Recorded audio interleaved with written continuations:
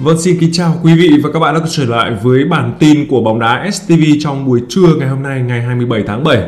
Kính thưa quý vị và các bạn, chỉ còn khoảng vài tiếng nữa thôi thì trận đấu giữa đội tuyển nữ Việt Nam và Bồ Đào Nha cũng sẽ được diễn ra. Đó và là vào lúc 14 giờ 30 phút theo giờ của Việt Nam chiều ngày hôm nay, ngày 27 tháng 7.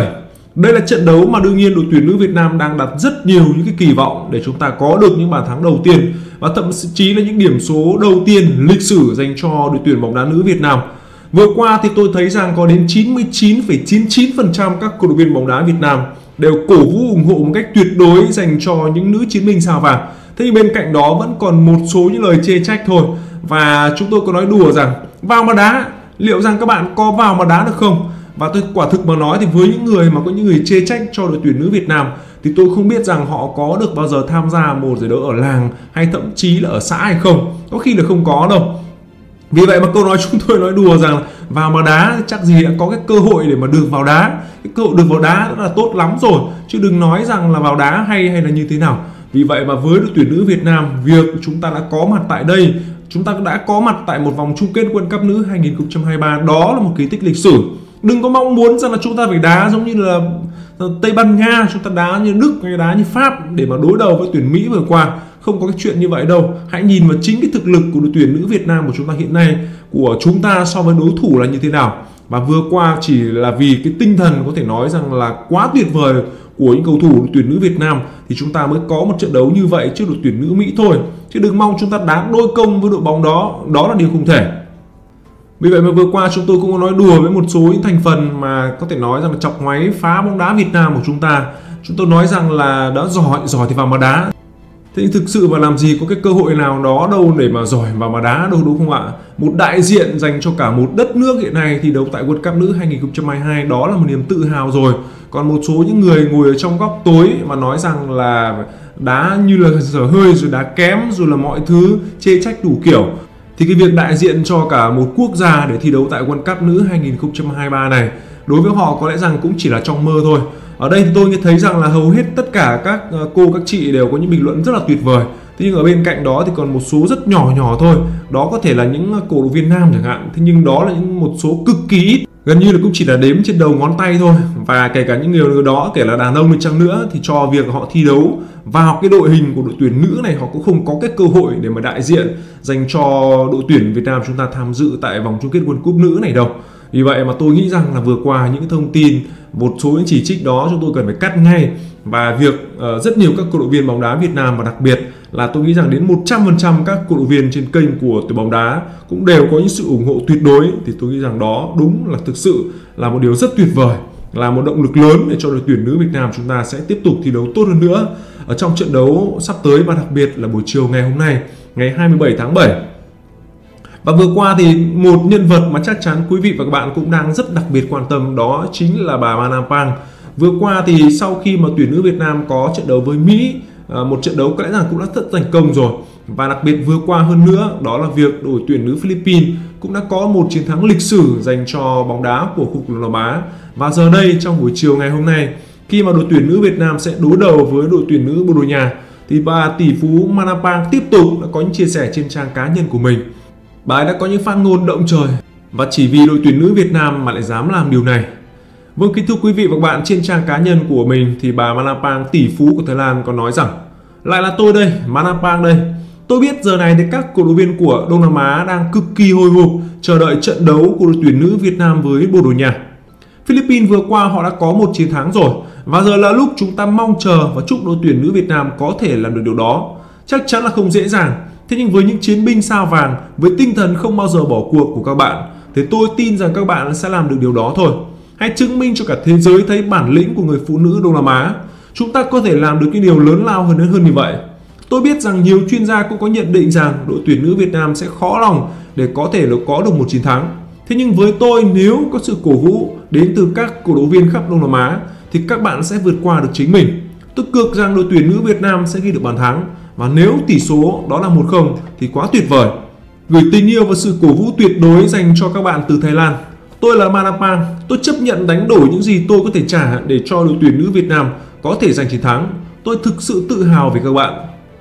Đó là những gì mà Malapang có chia sẻ và gửi những lời động viên rất tuyệt vời dành cho đội tuyển nữ Việt Nam ở trong trận đấu vào buổi chiều ngày hôm nay mà tôi tin rằng là với sự cổ vũ của hàng triệu triệu các cổ động viên của Đông Nam Á và đặc biệt là bà nữ tỷ phú Malapang, một bà phụ nữ giàu có và rất quyền lực thế nhưng cũng là rất tuyệt vời của khu bóng đá Đông Nam Á thì hy vọng rằng đội tuyển nữ Việt Nam sẽ có được một chiến thắng. Và nếu không thể thì hy vọng rằng ít nhất chúng ta sẽ có được bàn thắng và hy vọng rằng là sẽ có điểm ở trong trận đấu này còn hiện nay thì đối đầu với đội tuyển nữ Bồ Đào Nha thì chúng ta vẫn đang rất kỳ vọng vào một số những cái cầu thủ sẽ có thể mang đến những sự bất ngờ dành cho đội tuyển nữ Việt Nam. Và nếu chúng tôi có đưa ra những phân tích sau đây thì tôi nghĩ rằng quý vị và bạn cũng sẽ cảm thấy khá là bất ngờ. Cầu thủ đầu tiên có lẽ rằng không bất ngờ, đó chính là Nguyễn Thị Thành Nhã. Khi mà hiện nay thì các cổ động viên bóng đá Việt Nam của chúng ta cũng đang rất chờ đợi vào sự trở lại của Nguyễn Thị Thành Nhã trong trận đấu với đội tuyển nữ Mỹ thì kinh nghiệm của những cầu thủ như là Tuyết Dung, Hải Yến hay là Huỳnh Như đương nhiên là những điều rất cần thiết dành cho đội tuyển nữ Việt Nam. Tuy nhiên cũng bởi đối phương quá mạnh và phần nào là dấu hiệu của những tuổi tác vừa qua thì những cầu thủ ở trên hàng tấn công của đội tuyển nữ Việt Nam cũng đã không thể bùng nổ ở trong những pha phản công của mình được. Còn hiện nay khi mà đối đầu với đội tuyển nữ Bồ Nha, họ đang xếp trên đội tuyển nữ Việt Nam đó là 11 bậc. Thì sự xuất hiện bên cánh trái của đội tuyển nữ Việt Nam đó chỉ là Thành Nhã có thể sẽ là mang đến một mối đe dọa lớn dành cho đội tuyển nữ Bồ Đào Nha. Huấn luyện Leto đã nói rằng là ông ấy rất đề phòng với những cầu thủ bên phía đội tuyển nữ Việt Nam. Thế nhưng để có thể ngăn cản được tốc độ của Thành Nhã, chưa bao giờ là bài toán đơn giản cả. Bởi hãy nhìn xem kể cả cái trận đấu mà tuyển nữ Việt Nam thua đội tuyển nữ Pháp với tỷ số 7-0. Thế nhưng những cánh mà bên phía Thanh Nhã chắn giữ thì hầu như là những cầu thủ của Pháp khó lòng có thể qua được. Và đặc biệt vừa qua một pha phản công có thể nói rằng là thần tốc và là một kỳ tích cho đội tuyển nữ Việt Nam trước đội tuyển nữ Đức mới thấy được rằng là để cản Thanh Nhã ở trong những tình huống phản công kiểu như vậy không hề đơn giản đâu.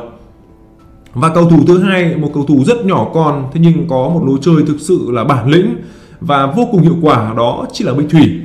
Bích Thủy là một trong những cầu thủ hiếm hoi của bóng đá Việt Nam có thể dẫn bóng sang phần sân của đối phương trong trận đấu với tuyển nữ Mỹ vừa qua. Đó là hình ảnh mà chúng ta cũng rất hiếm thấy trong trận đấu này vì thực tế mà nói, đội tuyển nữ Mỹ, họ đã có một cái thế trận quá tốt và gần như không để cho đội tuyển nữ Việt Nam có được những cơ hội để có thể dâng lên. Và với Bích Thùy thì cô có thể mang đến những phương án tấn công hiệu quả. Nếu như những cầu thủ hậu vệ biên của Bồ Đào Nha họ chủ quan, hoặc là họ có những tình huống dâng cao để hỗ trợ tìm kiếm những bàn thắng, thì Bích Thùy hoàn toàn là một trong những cái tên có thể mang đến sự nguy hiểm nhất dành cho đội tuyển nữ Việt Nam với một cầu thủ nhỏ con, thế nhưng thi đấu cực kỳ máu lửa, không sợ hãi trước bất cứ đối thủ nào, thì Bích Thùy hoàn toàn có thể mang đến những sự bất ngờ. Còn một hậu vệ nữa của tuyển nữ Việt Nam đó là Mỹ Anh. Hậu vệ hiện nay, cầu thủ sinh năm 1994 một cầu thủ thuận chân trái hiếm hoi của bóng đá nữ Việt Nam, với ưu thế về mặt sức bền ở trong trận đấu vừa qua, đặc biệt là đối đầu với tuyển nữ Mỹ. Thì bên cạnh những như Thành Nhã thì Mỹ Anh có thể là hoàn toàn hỗ trợ cho những pha chống biên, leo biên của tuyển nữ Việt Nam và chúng ta hoàn toàn có thể nghĩ đến việc là có thể có được những bàn thắng từ bên cánh trái của đội tuyển nữ Việt Nam. Và một cầu thủ khác nữa đó chính là Ngân Thị Vạn Sự cũng có thể là người sẽ giúp cho Thanh Nhã có thêm được những bàn thắng để với những đường kiến tạo, những đường truyền dài rất chính xác của mình. Một cầu thủ được đào tạo bài bản có thể chất vượt trội so với những người đàn chị của mình. Mặc dù không có chiều cao tốt thế nhưng ờ, Vạn Sự lại có được cái sức bền và điều đó đương nhiên sẽ mang đến cho đội tuyển nữ Việt Nam có khả năng tranh chấp tốt với những cầu thủ nước ngoài rất to cao. Mà tại sao chúng tôi được không nhắc đến Huỳnh Như? Bởi chúng ta đều biết rằng Huỳnh Như là thi đấu ở một vị trí tiền đạo cắm và thứ hai nữa thì Huỳnh Như cũng đã là một cầu thủ rất nổi tiếng rồi. Rất nhiều uh, các cổ động viên kể cả những cầu thủ của những Bồ Đào Nha họ đã biết quá rõ đối với Huỳnh Như. Vì vậy chắc chắn là trong trận đấu này thì Huỳnh Như sẽ bị theo kèm rất chặt. Vì vậy mà khó để cho Huỳnh Như có thể tạo ra những sự bất ngờ nhưng hy vọng rằng với đẳng cấp kinh nghiệm của mình thì Huỳnh Như sẽ giúp cho những cầu thủ đồng đội của mình sẽ có thêm những khoảng trống, có thêm được những cơ hội để có thể tỏa sáng và hy vọng rằng đội tuyển nữ Việt Nam sẽ chọc thủng lưới đội tuyển nữ Bồ Đào Nha ở trong trận đấu vào buổi chiều ngày hôm nay.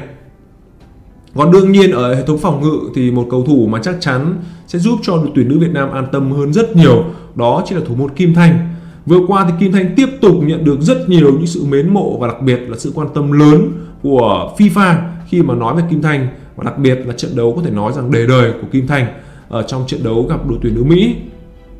Rất nhiều các cổ động viên của Mỹ đã có những chia sẻ ở trên tờ báo của FIFA như thế này. Trước đó tôi không biết Kim Thanh là ai cả. Tuy nhiên cô ấy đã gây ấn tượng cực mạnh với chúng tôi sau tình huống cản phá xuất sắc ở trong trận đấu ra quân. Mặc dù không có một chiến thắng trước đội tuyển nữ Mỹ thì Kim Thanh đã khiến cho các cổ viên bóng đá quốc tế, truyền thông quốc tế vừa qua đã phải dậy sóng và để lại rất nhiều những từ ngữ nể phục về tài năng của cô. Và trận đấu vào buổi chiều ngày hôm nay ngày 27 tháng 7 thì Kim Thanh chắc chắn sẽ là một án ngữ quan trọng và chắc chắn để cho tuyển nữ Việt Nam của chúng ta sẽ thể có thể là yên tâm trong hệ thống tấn công ở phía trên. Vì với Kim Thanh thì với kinh nghiệm của cô ấy, sự ra vào hợp lý và chỉ huy hàng phòng ngự rất tốt thì chúng ta hoàn toàn có thể tin tưởng là hàng phòng ngự của tuyển nữ Việt Nam sẽ đứng vững trước sự tấn công như vu bão của tuyển nữ Bồ Đào Nha được dự đoán sẽ diễn ra ở trong trận đấu vào buổi chiều ngày hôm nay. Còn quý vị và các bạn nhận xét như thế nào với những cái thông tin mà chúng tôi gửi đến quý vị và các bạn ở trong bản tin của bóng đá STV ngày hôm nay thì có thể để lại cho chúng tôi một like và một bình luận của mình ở phía dưới phần video ngày hôm nay của chúng tôi nhé. Tới đây thì bản tin của bóng đá STV cũng xin được kết thúc. Xin kính chào và hẹn gặp lại quý vị và các bạn